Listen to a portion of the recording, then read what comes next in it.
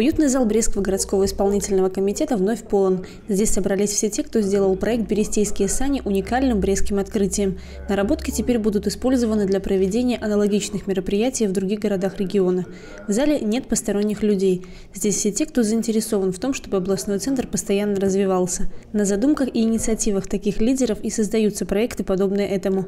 Обращаясь к присутствующим, Александр Рогачук отметил, что такие люди всегда видны, а их идеи обязательно находят отклик. Массовые мероприятия – это не только элемент развлекательного такого какого-то плана. Это составная часть привлекательности нашего города в целом и, как следствие, привлекательности инвестиционной, туристической. То есть тоже это выход на какие-то реальные показатели.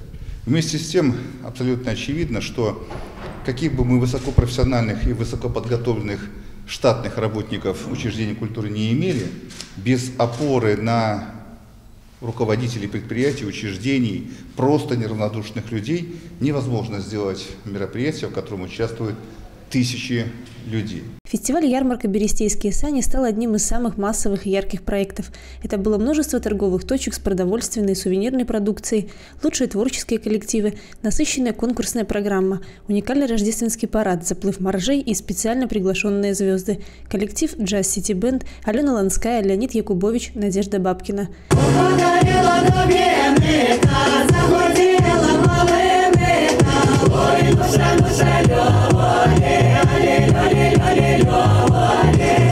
Большой вклад в работу внесли все – артисты, организаторы, дизайнеры, поэтому каждый диплом, полученный в торжественной обстановке из рук градоначальника – заслуженная награда. Самое главное все, что ты делаешь, делаешь с любовью, особенно для любимого родного города, это, безусловно, всегда очень приятно и радует. Поэтому для нашего любимого города готовы вновь и вновь радовать какими-то новыми проектами. Новый год мы встретили э, весело, в труде.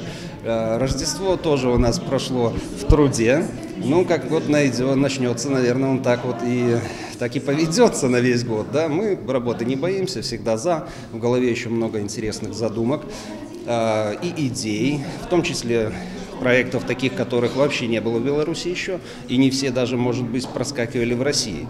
То есть планы амбициозные, и этот проект, э, это мероприятие показало, что э, нет ничего невозможного. Особое внимание в рамках награждения было уделено участникам Большого парада. Красочная платформа, представленная предприятием «Брежжилстрой», действительно получилась одной из самых ярких. Строить красивые дома, строить красивый город – мы уже умеем, и хотелось что-то такое неожиданное, поэтому это мероприятие в городе впервые.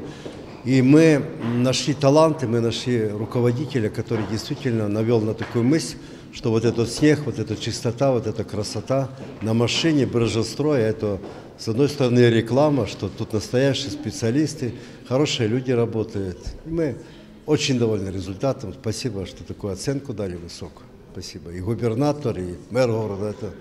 Будем дальше таким же образом участвовать во всех мероприятиях общественных.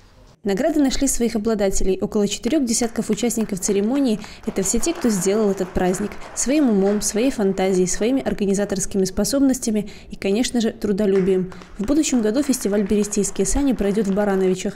Однако в истории почетным первым местом проведения инициативы останется наш областной центр. Прошедший фестиваль в том числе и этот э, карнавал рождественский, или как его можно по-другому назвать, э, показал, что в Бресте есть огромное количество неравнодушных людей, которые во имя города, во имя продвижения нашего города готовы идти и лично участвовать, и организовывать вот такие большие массовые мероприятия. А сказать спасибо по итогам – это задача в том числе и городской власти, что мы сегодня вместе с вами и сделали. Кстати, работы у этих творческих лидеров уже достаточно. Впереди День города, встретить который брещане должны также весело и интересно.